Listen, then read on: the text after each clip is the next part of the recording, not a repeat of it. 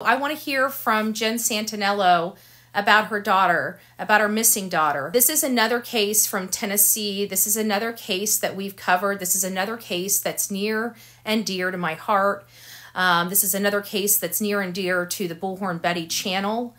And um, I really want to make sure that everybody remembers this case. We don't want to leave anybody behind. Not Sebastian, not Summer Wells, not Layla, and not Holland Snap. Because she really needs some answers and people need to hear her story and her story still needs to be shared.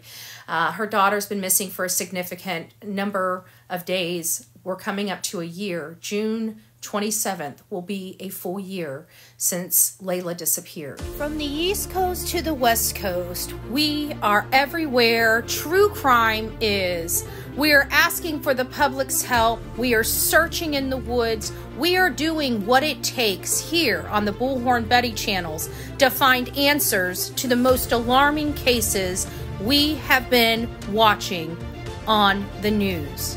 I can tell you personally that I have traveled this entire country seeking these answers and bringing that content right here to you here on the Bullhorn Betty channels and Bullhorn Betty crime stories. We are happy with the work that we've done. We brought many answers to the public and we have defied mainstream media in our pursuit of the truth in these cases. We will continue to work we will continue to fight for these victims and we will continue to tell their stories here on my channels. Welcome to the Bullhorn Betty brand of channels and the Coffee Club. Thank you for your love, thank you for your support, and more importantly, thank you for allowing me to bring these victims' stories to each and every one of you, advocating for each of these victims. God bless you, God bless America, and more importantly, God bless our victims.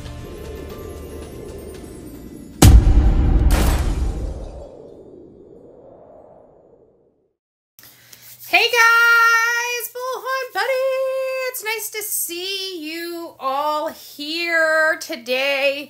So, Pascal, I like Pascal. I like his commentary, at least on a few cases that I've seen him cover here recently. You know, the Sebastian Rogers case. I really, I've heard his name, but I never really watched him until the Sebastian Rogers case. One of the cases that I have covered extensively is Layla Santanello.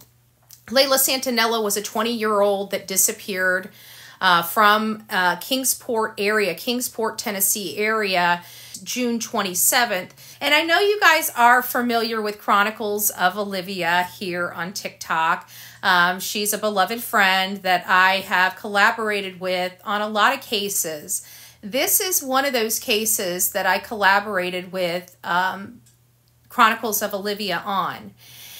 And it's a sad case. We found some, you know, very disturbing information while we were out there. But, you know, when we were out there and we were searching, one of the good things that I can say, one of the positive benefits we brought to at least Jen is we were able to find somebody that had some information for Jennifer in those earlier days when she was just trying to get answers um, about her daughter, and she was hearing a lot of stories from a lot of different people, we were able to at least find somebody that could fill some of those holes for her.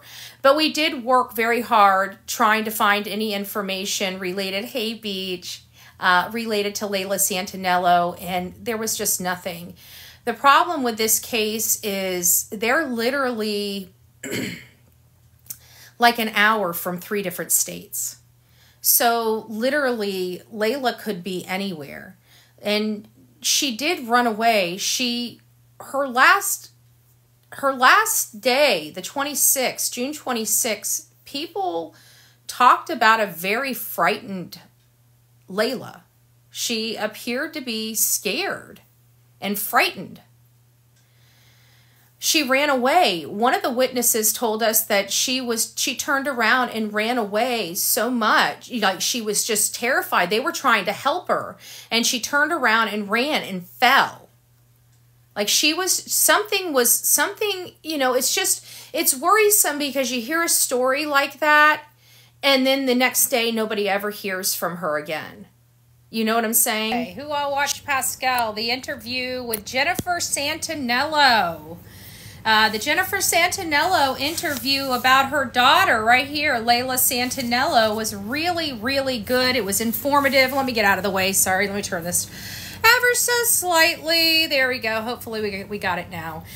So, Jennifer Santanello, the mother of Layla Santanello, was on Pascal's show today giving um, a very captivating uh, interview with him, uh, describing where she, you know, what's going on in the case, what information is factual information, where's the case going. She talked about Layla's boyfriend, Mike Thompson.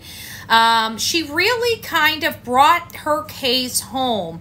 Uh, one of the things that I noticed is she um, has been trying to appeal uh, to national media attention to kind of take her case and, and help get it more national attention. And so, one of the ways we can help Layla's mom get national attention is by talking about the case, making it a case that we want to learn a little more about. If you don't know about Layla Santanello, Layla Santanello has been missing for almost a year.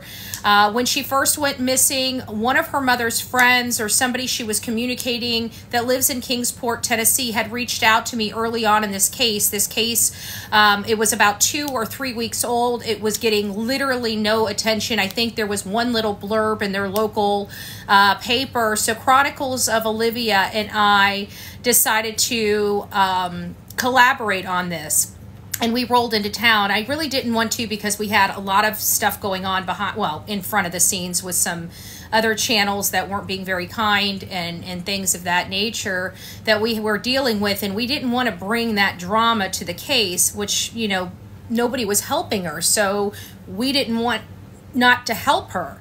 So we had a choice and we chose that, you know, we were going to help a mom in need. And it did bring uh, quite a bit of drama, as most of the uh, stuff that I get into does, because, you know, there's just hateful people out there um, for whatever reason that like to attack me and are willing to attack innocent families in an effort to, um, you know, do that.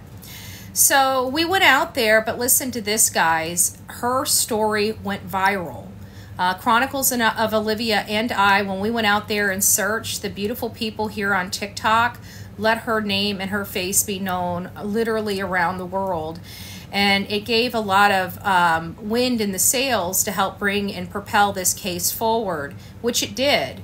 Uh, but Layla's still missing, and the you know we need to kind of keep that wind going and those those sails. We don't want to leave this this loving mother behind there is a history of drug addiction in here, and I really do uh, hope that people understand um, one of the reasons why I chose to take this case and, and work with it is because of the history of this case, because I knew that mainstream media, because of the history, wouldn't give this case a fighting chance. And I wanted to know, as well as her mom, what happened to her.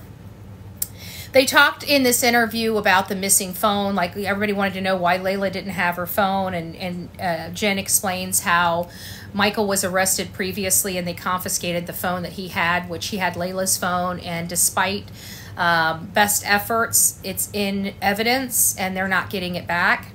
So they tried as much as they could to get it, and they couldn't.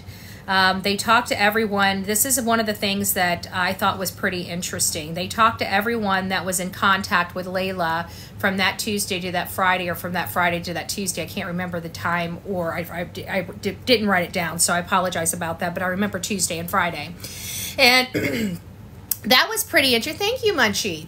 Um, that was pretty interesting because one of the other statements, as many people know, a lot of people um, including myself, although I kept it to myself because we didn't have enough information to come out and say it. I had always thought that Michael Thompson had a hand in this or knew something. And I know you guys have never really ever heard me say that. again, it's because even though we went out there to find out information and to get information, we didn't find really a whole lot that really led us um, one way or another, other than people knew what happened and. Um, you know, it sounded like something bad may have happened to her. That was the information we were getting. Now it's been a significant amount of time. There's always hope left, as like uh, Jennifer Santanello had said, you know, she has a lot of hope. She is constantly getting leads herself with people sending fit photos of who they think might be her daughter. There is a possibility her daughter is out there walking. We don't know what happened to her, and that's the truth. Uh, we have no clue what happened to her. Uh, she was there one minute and literally gone the next. Could she have gotten in the car and, and went to another state and got out and just, you know, hasn't even seen that her, her entire family's looking for her? Is there a possibility of that? Yeah. In this case, there's absolutely that possibility. Not just it's over over a possibility. It's a probability. It could have happened. It could still be. I mean, we literally have nothing. We don't have really we have no crime scene. We have um, we have people that saw her come out of the woods, so we did see her run away, but somebody has put eyes on her since. You know? So at this point, there is a good possibility she just walked off, met another, you know, person in the same boat, got in a car, drove off, and said, you know, F this place. It's hard to believe because she hasn't called home. She always kept in contact with her mom. She always kept in contact with her dad. Um, she visited her daughter when she could. She hasn't been on social media. These are telltale signs, okay? These are telltale signs that something's not right, okay? But again, we don't know. And the last lead that we had that gave us a little hope of, of guiding us in a direction was the marble slab. And that ended up being another woman. I, I didn't hear um, Jen touch on that because the marble slab was a lot to do at the beginning. But we hear that that was literally a different woman altogether in black pants, a tank top, and no shoes. Crazy. It's crazy.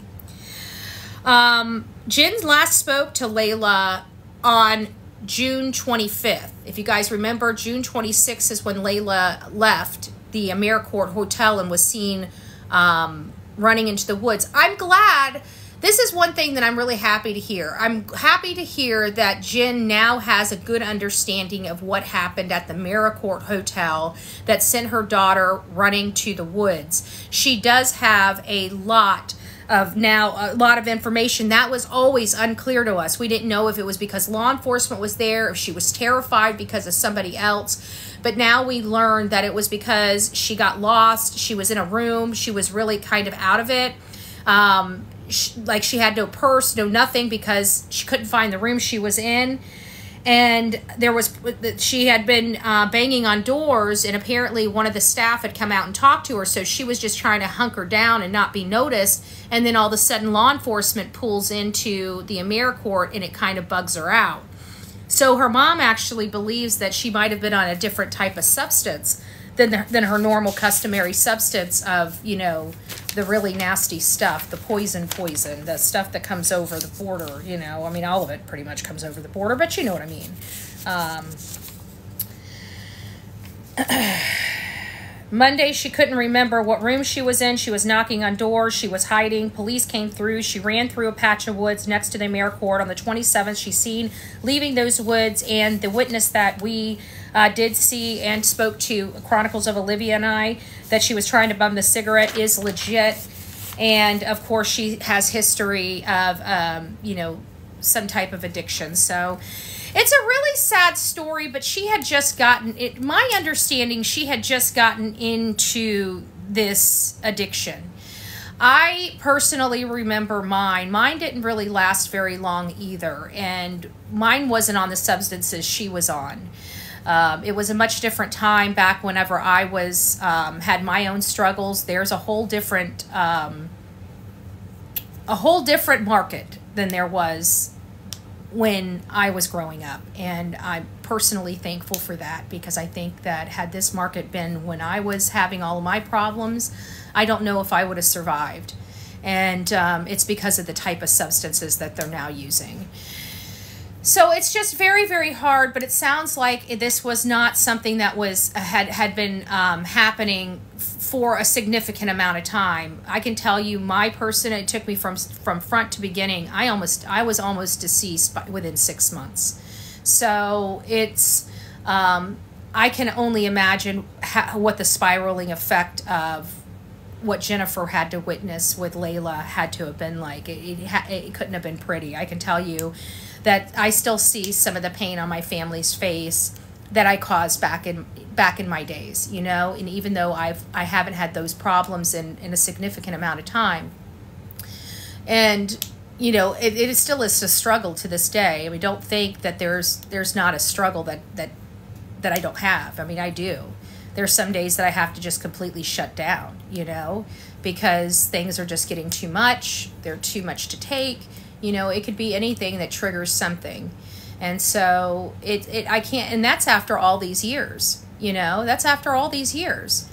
And so to hear you know her i remember that you know you i remember not real not even thinking you really you, you you still think that you're in control at that point you know and you're just not um, so I feel for her. You know, I felt for her mom. The reason why I kind of gravitated to her case is because I saw my mom in Jennifer Santanello. You know, I saw my mom because there was a time. You know, there was a time. And so that's why I chose to help this family. I'm, you know, we need to start talking about it again. Layla is still out there somewhere. So I think right now we're going to be starting to try to couple uh, Layla's case with Sebastian Rogers' case because those are two um, cases in Kingsport and in the Tennessee area that we can cover, along with Summer Wells. You know, Summer Wells is another case that has been near and dear to my heart personally. I have my opinions in that case as well, and that was from extensive and exhaustive uh, work out there in Hawkins County, Tennessee. And when I say extensive and exhaustive, um, I can tell you that almost, I was out there almost a month, um, every month for almost a year, you know, for a, at least several days, almost every month out of a year. We were in, in Tennessee, and that was back in 2021, beginning of 2022, up until uh, the first year, the first milestone of Summer Wells and um, that was a little rough. So we're about to creep up to Layla Santanello's one year milestone and Summer Wells' three year milestone, all in, in Tennessee. So we have our work cut out for us. I don't know if we're ever going to see Summer Wells. I really don't. I'm just praying to God that what I'm hearing, you know, behind the scenes is truly transpiring, you know, unknown to us. And what I've been hearing behind the scenes for those that are curious is I've been hearing that Hawkins County no longer has the case. I've been hearing that TBI has the case. And I've been hearing that there is something going on behind the scenes. What that is, I have no idea. I don't know if that's even accurate or true because, you know, there's so many people that troll these cases on a given day that I really just don't know. So, that's all I have, folks. I hope you guys take care. I want you to have a great day. TGIF. Oh, and by the way, if you guys want to know what I'm doing today, ah, what is that? I don't know if you guys know. I, I haven't cooked since I've been kind of by myself. I really haven't cooked very much. And so every now and again, I just want something, you know? And so this is my broccoli chicken casserole. that I'm making, and it was just put into the oven. And so I am like dying. This is my my new thing. I don't know if you told. I'm I'm trying to clean it out. My little Goodwill thing. I went to Goodwill yesterday, and that's my latte machine right behind it. You see that? The little price tag right there, twenty four ninety nine. I checked it out. It needs to be cleaned. I'm in the process of cleaning it right now, and uh, twenty four ninety nine, and it works. It works. It works. But just uh, just to just salivate over that, my broccoli chicken casserole. I'll let you guys. I'll let you all know how it how it turned out and how it tasted. Okay. But don't forget, Layla Santanello, get over to Pascal's. Listen to the interview. It was, it, to be honest with you, I haven't talked to Jen in a really long time. So it was great getting a good update on this case. And uh, she did an amazing job. She did an amazing job. And she's just a mother trying to do her best to find answers to her missing and for her missing daughter. So we'll talk to you soon. God bless everybody. Rock it out with your coffee beans out, and we'll see you soon.